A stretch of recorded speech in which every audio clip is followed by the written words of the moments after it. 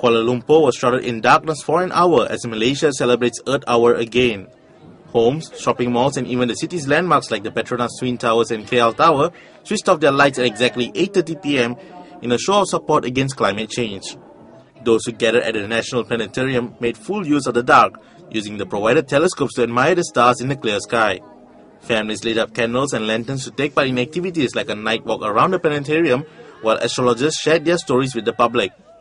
Earth Hour is held on the last Saturday of March annually in thousands of cities in countries around the globe.